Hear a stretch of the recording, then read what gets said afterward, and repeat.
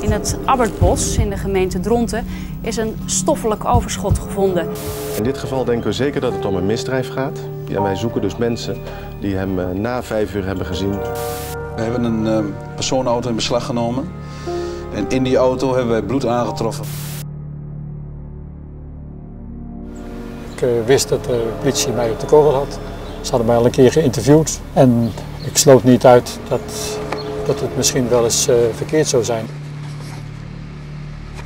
Iemand met het postuur en de constitutie van de heer Haalboom in die tijd kan dit redelijkwijs nooit alleen hebben gedaan.